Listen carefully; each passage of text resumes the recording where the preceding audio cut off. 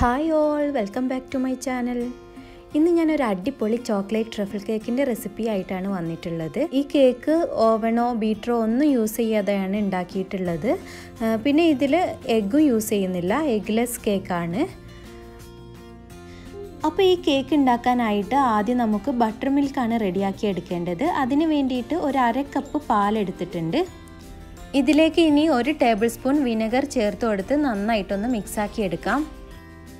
പിന്നെ ഈ വിനെഗറിന് പകരമായിട്ട് ഇതേ അളവിൽ തന്നെ നിങ്ങൾക്ക് വേണമെങ്കിൽ തൈര് ചേർത്ത് കൊടുക്കാം. പിന്നെ അതുപോലെ നാരങ്ങയുടെ നീര് ചേർത്ത് കൊടുക്കാം. അങ്ങനെ ഇത് മിക്സാക്കി എടുത്തിട്ടുണ്ട്. ഇനി ഇത് മൂടി വെച്ച് ഒരു പത്തോ പതിനഞ്ചോ മിനിറ്റ് നമുക്കൊന്ന് മാറ്റി വെക്കാം. ഇനി അടുത്തത് നമുക്ക് കേക്ക് ടിൻ ഒന്ന് റെഡിയാക്കി എടുക്കാം. നിങ്ങൾ ഏത് കേക്ക് ടിന്നിലാണോ ബേക്ക് ചെയ്യുന്നത് ആ കേക്ക് ടിൻ എടുത്തിട്ട് ഇതുപോലെ കുറച്ച് ഓയിൽ ഒഴിച്ചു കൊടുക്കുക. ഓയിലോ ബട്ടറോ എന്ത് വേണമെങ്കിലും നിങ്ങൾക്ക് യൂസ് ചെയ്യാം. എന്നിട്ട് ഇതുപോലെ കേക്ക് ടിന് മുഴുവനായിട്ട് നമുക്ക് സ്പ്രെഡാക്കി കൊടുക്കാം. അതിനുശേഷം ഇതിന് കണക്കാക്കിയിട്ട് ഒരു ബട്ടർ പേപ്പർ കട്ടാക്കിയിട്ട് ഇതുപോലെ വെച്ച് കൊടുക്കാം. അങ്ങനെ കേക്ക് ടിന്നും റെഡിയാക്കി എടുത്തിട്ടുണ്ട്. ഇനി ബട്ടർ പേപ്പർ ഇല്ലെങ്കിൽ കുറച്ച് മൈദപ്പൊടി വിതറി എടുത്താലും മതി. അപ്പോൾ ഈ കേക്ക് ടിന്ന് റെഡിയാക്കി എടുത്തിട്ടുള്ളത് നമുക്കൊന്ന് മാറ്റി വെക്കാം. എന്നിട്ട് ഡ്രൈ ഇൻഗ്രീഡിയൻസ് ഒക്കെ ഒന്ന് അരിച്ചെടുക്കുകയാണ് ചെയ്യുന്നത്. അപ്പോൾ അതിന് വേണ്ടിയിട്ട് ഒരു അരിപ്പയിലേക്ക് ഒരു അര കപ്പ് മൈദ ചേർത്ത് കൊടുക്കാം. പിന്നെ ഒരു കാൽ കപ്പ് കൊക്കോ പൗഡർ ചേർത്ത് കൊടുക്കാം. പിന്നെ ഇതിലേക്ക് ഒരു അര ടീസ്പൂൺ ബേക്കിംഗ് പൗഡർ ചേർത്ത് കൊടുക്കാം.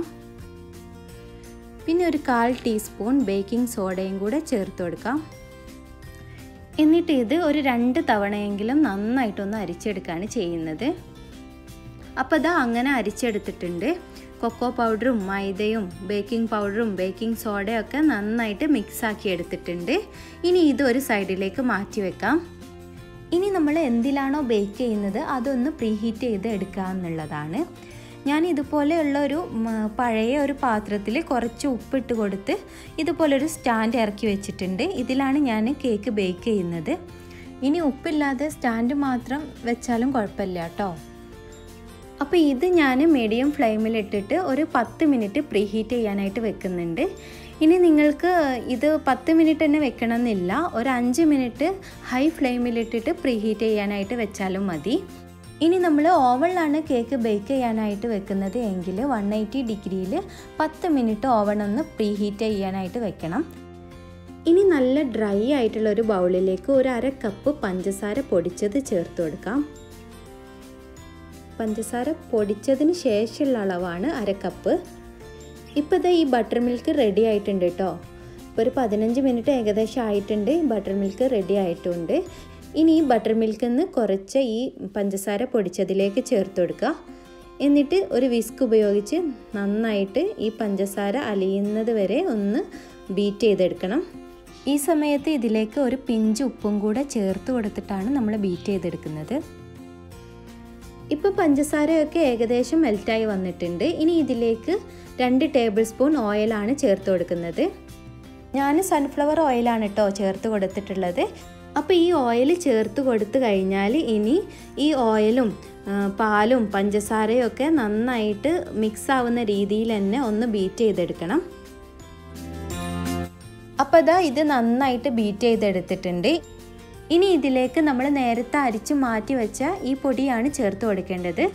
ഇത് ഇതിലേക്ക് കുറച്ച് കുറച്ച് ചേർത്ത് കൊടുത്തിട്ടാണ് നമ്മൾ മിക്സ് ആക്കി എടുക്കേണ്ടത്.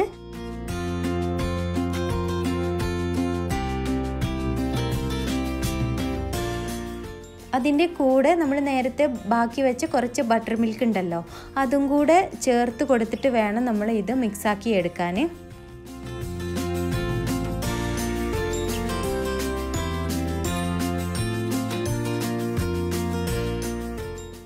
അപ്പോൾ അതാ നമ്മുടെ ബാറ്ററൊക്കെ റെഡിയായി വന്നിട്ടുണ്ട്. ഇനി ഇതിലേക്ക് ഒരു അര ടീസ്പൂൺ വെനില എസൻസും കൂടെ ചേർത്ത് ഒന്നും കൂടെ മിക്സാക്കി എടുക്കണം. ഇനി ഈ സമയത്ത് നിങ്ങളുടെ കയ്യിൽ ബട്ടർ എസൻസ് ഒക്കെ ഉണ്ടെങ്കിൽ രണ്ട് ഡ്രോപ്പ് അതും കൂടെ ചേർത്ത് കൊടുക്കാം. അതൊക്കെ ഓപ്ഷണലാണ് നിങ്ങൾക്ക് വേണമെങ്കിൽ ചേർത്ത് കൊടുക്കാം. എന്റെ കയ്യിൽ ബട്ടർ എസൻസ് ഇല്ല. അതുകൊണ്ട് ഞാൻ ചേർത്ത് കൊടുത്തിട്ടുമില്ല അപ്പോൾ ഇത് നന്നായിട്ട് മിക്സാക്കി എടുത്തിട്ടുണ്ട്. അങ്ങനെ കേക്കിന്റെ ബാറ്റർ റെഡിയാക്കി എടുത്തിട്ടുണ്ട്. ഇനി ഇത് കേക്ക് ടിന്നിലേക്ക് ഒഴിച്ചു കൊടുക്കുകയാണ് ചെയ്യുന്നത്. നമ്മൾ നേരത്തെ റെഡിയാക്കി വെച്ച കേക്ക് ടിന്നിലേക്കാണ് ഒഴിച്ചു കൊടുക്കുന്നത്. പിന്നെ ഒരു കാര്യം ഞാൻ നേരത്തെ പറയാൻ മറന്നു. ഇത് സിക്സ് ഇഞ്ചിന്റെ കേക്ക് ടിന്നാണ് കേട്ടോ എഗ് ഇല്ലാത്തത് കൊണ്ട് ബാറ്ററി കുറവായിരിക്കും. ഇനി ഇത് ചെറുതായിട്ടൊന്ന് ടാപ്പ് ചെയ്ത് കൊടുക്കാം. എന്നിട്ട് ഈ ചൂടായി കിടക്കുന്ന ഈ പാത്രത്തിലേക്ക് നമ്മൾ ഈ കേക്ക് ടിന്ന് വെച്ച് കൊടുക്കാം ഇതിലേക്ക് വെക്കുമ്പം നല്ലതുപോലെ ശ്രദ്ധിക്കണം കേട്ടോ. കൈയൊന്നും പൊള്ളാതെ ശ്രദ്ധിക്കണം. ഇനി ഇത് അടച്ച് വെച്ച് ഒരു നാൽപ്പത് നാൽപ്പത്തഞ്ച് മിനിറ്റ് വരെ ലോ ഫ്ലെയിമിലിട്ടാണ് നമ്മൾ ഇത് ബേക്ക് ചെയ്തെടുക്കുന്നത്. അതിന്റെ മുന്നായിട്ട് നമ്മൾ ഇത് ഓപ്പൺ ചെയ്ത് നോക്കാനൊന്നും പാടില്ല. അങ്ങനെ നമ്മൾ ഇടയ്ക്ക് തുറന്ന് നോക്കിയിട്ടുണ്ടെങ്കിൽ കേക്കിന്റെ മുകൾ ഭാഗം പൊങ്ങി വരില്ല താഴ്ന്നു പോകും. പിന്നെ കേക്ക് ചീത്തായി പോകും കേട്ടോ. അതുകൊണ്ട് ആരും ഇടയ്ക്ക് തുറന്ന് നോക്കരുത്. ഇനി ഓവൺ ആണെങ്കിലും തുറന്ന് നോക്കാൻ പാടില്ല. ഇനി കേക്ക് ബേക്ക് ആവുന്ന സമയം കൊണ്ട് നമുക്കിതിലേക്ക് വേണ്ട വിപ്പിംഗ് ക്രീം ബീറ്റ് ചെയ്തെടുക്കാം. ഇതിലേക്ക് ഒരു കപ്പ് വിപ്പിംഗ് ക്രീമാണ് ഞാൻ എടുത്തിട്ടുള്ളത്. ഇത് നന്നായിട്ടൊന്ന് ബീറ്റ് ചെയ്തെടുക്കാം.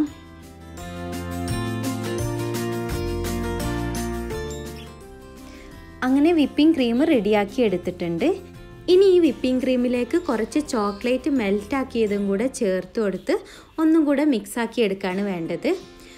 നമുക്ക് ഈ കേക്കിലേക്ക് ചോക്ലേറ്റ് വിപ്പിംഗ് ക്രീമാണ് വേണ്ടത്. ചോക്ലേറ്റ് വിപ്പിംഗ് ക്രീമായിട്ട് തന്നെ വാങ്ങിക്കാൻ കിട്ടും കേട്ടോ അപ്പോൾ അത് ബീറ്റ് ചെയ്തെടുത്താലും മതി. ഇങ്ങനെ ചോക്ലേറ്റ് മെൽറ്റാക്കിയത് ചേർത്തിട്ട് മിക്സ് ആക്കി എടുക്കണമെന്നില്ല. ഇതൊരു രണ്ട് ടേബിൾ സ്പൂൺ ചോക്ലേറ്റ് മെൽറ്റ് ആക്കിയതാണ് ഉള്ളത് അപ്പോൾ അത് ചേർത്ത് നന്നായിട്ടൊന്ന് മിക്സ് ആക്കി എടുക്കാം.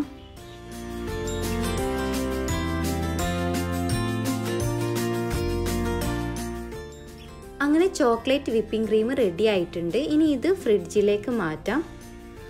അപ്പം നമ്മുടെ കേക്ക് റെഡി ആയിട്ടുണ്ടോ എന്ന് നോക്കാം നമുക്ക്. കേക്കൊക്കെ നല്ലതുപോലെ പൊങ്ങി വന്നിട്ടുണ്ട്. ഇനി ഇതുപോലൊരു സ്റ്റിക്ക് ഉപയോഗിച്ച് നമുക്കിതൊന്ന് കുത്തി നോക്കാം. ഇതാ കണ്ടില്ലേ? സ്റ്റിക്കിൽ ഒട്ടി പിടിച്ചിട്ടൊന്നുമില്ല. അപ്പം നമ്മുടെ കേക്ക് റെഡി ആയിട്ടുണ്ട്. അപ്പം നമുക്ക് ഈ കേക്ക് ഇതിൽ നിന്നും മാറ്റാം. ഇനി ഈ കേക്ക് കുറച്ചൊന്ന് ചൂടാറിയതിന് ശേഷം ഇതിൽ നിന്ന് മാറ്റാട്ടോ. അപ്പോൾ അതാ ഈ കേക്ക് ചൂടാറിയിട്ടുണ്ട്. ഇനി ഈ കേക്ക് ഇതിൽ നിന്നും മാറ്റി ഇതിന്റെ ബട്ടർ പേപ്പറൊക്കെ ഒന്ന് മാറ്റി കൊടുക്കാം.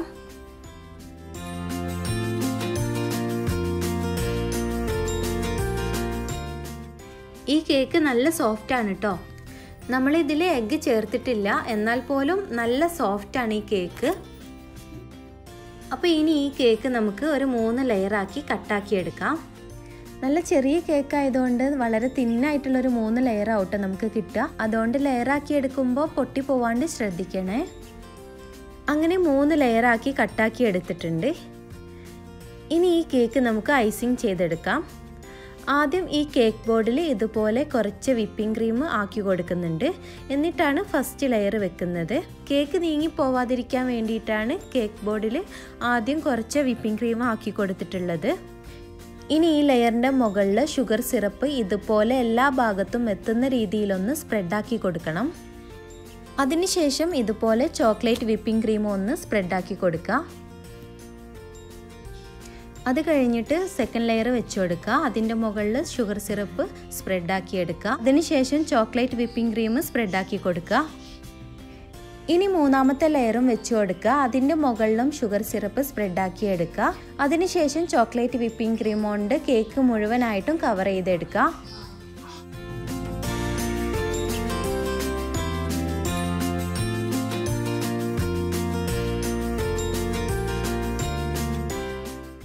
ഇപ്പം കേക്ക് മുഴുവനായിട്ടും വിപ്പിംഗ് ക്രീം കൊണ്ട് കവറാക്കി എടുത്തിട്ടുണ്ട്. ഇനി ഇത് ഒന്ന് സെറ്റായിട്ടാണ് നമ്മൾ ഗനാഷ് ഒഴിച്ച് കൊടുക്കേണ്ടത്. അതിന് വേണ്ടിയിട്ട് ഇത് ഞാൻ കുറച്ച് നേരം ഫ്രിഡ്ജിൽ വെക്കുന്നുണ്ട്. അപ്പോൾ ആ സമയം കൊണ്ട് നമുക്ക് ചോക്ലേറ്റ് ഗനാഷ് തയ്യാറാക്കാം. ഇതിന്റെ ഡീറ്റെയിൽ വീഡിയോ ഞാൻ മുന്നേ അപ്ലോഡ് ചെയ്തിട്ടുണ്ട്. കാണാത്തവരുണ്ടെങ്കിൽ കാണുക. ഞാൻ താഴെ ഡിസ്ക്രിപ്ഷനിൽ ഇതിന്റെ ലിങ്ക് കൊടുക്കാം. അതുകൊണ്ട് ഞാൻ ഈ വീഡിയോയിൽ അത്ര ഡീറ്റെയിൽ ആയിട്ടൊന്നും ചോക്ലേറ്റ് ഗനാഷിനെ കുറിച്ച് പറയുന്നില്ല കേട്ടോ. ഇത് ഡബിൾ ബോയിലിംഗ് ചെയ്തിട്ടാണ് തയ്യാറാക്കിയെടുക്കുന്നത് ഒരു പാത്രത്തിൽ വെള്ളം തിളപ്പിക്കാൻ വെച്ചിട്ടുണ്ട്. അതിന്റെ മുകളിലാണ് ഞാൻ ഈ ബൗൾ വെച്ചിട്ടുള്ളത്. ക്രീം ഒന്ന് ചൂടായി വന്നാൽ അതിലേക്ക് ഒരു അര കപ്പ് ഗ്രേറ്റ് ആക്കി എടുത്ത് ചോക്ലേറ്റ് ചേർത്ത് കൊടുക്കാം. ഇനി ഇത് നന്നായിട്ടൊന്ന് മിക്സാക്കി കൊടുക്കുക. എന്നിട്ട് ഫ്ലെയിം ഓഫ് ചെയ്തതിന് ശേഷം ഇതിലേക്ക് അര ടേബിൾ സ്പൂൺ ബട്ടർ ചേർത്ത് കൊടുക്കാം. എന്നിട്ട് വീണ്ടും ഈ ബട്ടർ മെൽറ്റ് ആകുന്നത് വരെ ഒന്ന് മിക്സാക്കി കൊടുക്കാം. അങ്ങനെ ചോക്ലേറ്റ് ഗനാഷ് റെഡിയാക്കി എടുത്തിട്ടുണ്ട്. ഇനി ഇതൊന്ന് തണുക്കണം. തണുക്കാന്ന് പറഞ്ഞാൽ അധികം തണുക്കരുത്. നമ്മുടെ കൈകൊണ്ട് തൊടാൻ പറ്റുന്ന രീതിയിലുള്ള ഒരു ചൂട് വേണം. ആ ചൂടിലാണ് നമ്മൾ ഇത് കേക്കിന്റെ മുകളിൽ ഒഴിച്ചു കൊടുക്കേണ്ടത്. അല്ലാതെ നമ്മൾ അധികം ചൂടിലാണ് ഈ ഗനാശ് ഒഴിച്ചു കൊടുക്കുന്നത് എങ്കിൽ കേക്കിന്റെ മുകളിലുള്ള ക്രീമൊക്കെ മെൽറ്റായി പോകും. അപ്പോൾ അതാ കേക്ക് ഏകദേശം സെറ്റ് ആയിട്ടുണ്ട്. അതുകൊണ്ട് ഫ്രിഡ്ജിൽ നിന്ന് പുറത്തെടുത്ത് വെച്ചിട്ടുണ്ട്. ഇനി ഒരു പ്ലേറ്റ് എടുക്കുക എന്നിട്ട് ഇതുപോലെ ഒരു ബൗളിൽ കമഴ്ത്തി വെക്കുക അതിന്റെ മുകളിൽ ഇതുപോലെ ഒരു ചെറിയ പ്ലേറ്റ് കമഴ്ത്തി വെക്കുക എന്നിട്ടാണ് നമ്മൾ കേക്ക് ഇതിന്റെ മുകളിൽ വെച്ച് കൊടുക്കുന്നത്. അപ്പോൾ ഇതാ നമുക്ക് ഇതിന്റെ മുകളിൽ ചോക്ലേറ്റ് ഗനാഷ് ഒഴിച്ചു കൊടുക്കാം. ആദ്യം നമുക്ക് നടുവിലായിട്ട് ഇതുപോലെ ഒഴിച്ചു കൊടുക്കാം. എന്നിട്ട് സൈഡിലൊക്കെ ഇതുപോലെ ആക്കി കൊടുത്ത് കേക്ക് മുഴുവനായിട്ടും ഗനാഷ് കൊണ്ട് കവർ ചെയ്തെടുക്കാം. ഇങ്ങനെ ഗനാഷ് ഒഴിച്ചു കൊടുക്കുന്ന സമയത്ത് നമ്മൾ കഴിയുന്നത് ഒന്നും ഉപയോഗിച്ച് ലെവൽ ചെയ്ത് കൊടുക്കാതിരിക്കുക. കാരണം ലെവൽ ചെയ്ത് കൊടുത്തിട്ടുണ്ടെങ്കിൽ കേക്കിന്റെ മുകളിൽ ഇതുപോലെ ഷൈനിങ്ങോട് കൂടി ഗനാഷ് കിട്ടൂല. ഇപ്പോൾ ഇതാ കേക്ക് മുഴുവനായിട്ടും ഗനാഷ് കൊണ്ട് കവർ ചെയ്തെടുത്തിട്ടുണ്ട്. ഈ കേക്കിന്റെ മുകളിൽ നിന്ന് ബാക്കിയുള്ള ഗനാഷൊക്കെ ഈ പ്ലേറ്റിലേക്ക് ഊറ്റി മുഴുവനായിട്ടും പോയതിന് ശേഷം നമുക്കിത് ഫ്രിഡ്ജിലോട്ട് തണുക്കാനായിട്ട് മാറ്റി വെക്കാം. അപ്പോൾ ഇതാ ഞാൻ ചോക്ലേറ്റ് ട്രഫിൾ കേക്ക് ഫ്രിഡ്ജിൽ വെച്ച് ഒന്ന് സെറ്റാക്കി എടുത്തിട്ടുണ്ട്. ഇനി ഇതിന്റെ മുകളിൽ വളരെ സിമ്പിൾ ആയിട്ടുള്ള ഒരു ഡെക്കറേഷനാണ് ഞാൻ കൊടുക്കുന്നത്. ഇത് കുറച്ച് ചോക്കോ ചിപ്സ് ആണ് ഇത് കേക്കിന്റെ അടിയിൽ സൈഡിലായിട്ട് ഇതുപോലെ ഒന്ന് വെച്ച് കൊടുക്കുന്നുണ്ട്.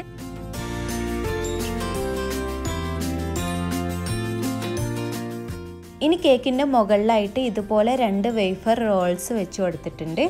പിന്നെ അതിന്റെ അടുത്തായിട്ട് കുറച്ച് ചോക്കോ ചിപ്സ് വെച്ച് കൊടുത്തിട്ടുണ്ട്. ഇനി ഞാൻ വിപ്പിംഗ് ക്രീം കൊണ്ട് ഒരു രണ്ട് ഫ്ലേവർ ഉണ്ടാക്കി വെച്ചിട്ടുണ്ടായിരുന്നു. അപ്പോൾ അത് ഇതിന്റെ സൈഡിലായിട്ട് വെച്ച് കൊടുക്കുന്നുണ്ട്. പിന്നെ കുറച്ച് ഷുഗർ ബോൾസ് ഈ ഫ്ലവറിന്റെ മുകളിലായിട്ട് ഇട്ട് കൊടുക്കുന്നുണ്ട്. അപ്പോൾ ഇതാ ഇത്ര ഡെക്കറേഷൻസേ ഉള്ളൂ. ചോക്ലേറ്റ് ട്രിഫിൾ കേക്കിന് അധികം ഡെക്കറേഷൻസിന്റെ ആവശ്യമില്ല. സിമ്പിളായിട്ട് മതി. അങ്ങനെ അടിപൊളി എഗ്ലെസ് ചോക്ലേറ്റ് ട്രഫിൾ കേക്ക് ഇവിടെ റെഡി ആയിട്ടുണ്ട്. അപ്പോൾ എല്ലാവരും ഈ കേക്ക് ഒന്ന് ട്രൈ ചെയ്ത് നോക്കുക. പിന്നെ എല്ലാവർക്കും ഈ വീഡിയോ ഇഷ്ടമായിട്ടുണ്ടാകുമെന്ന് വിചാരിക്കുന്നു. ഇഷ്ടപ്പെട്ടാൽ ലൈക്ക് ചെയ്യുക കമന്റ് ചെയ്യുക പിന്നെ ചാനൽ സബ്സ്ക്രൈബ് ചെയ്യാത്തവരാണെങ്കിൽ സബ്സ്ക്രൈബും ചെയ്യുക. ഇനി മറ്റൊരു വീഡിയോയിലൂടെ വീണ്ടും കാണാം. താങ്ക്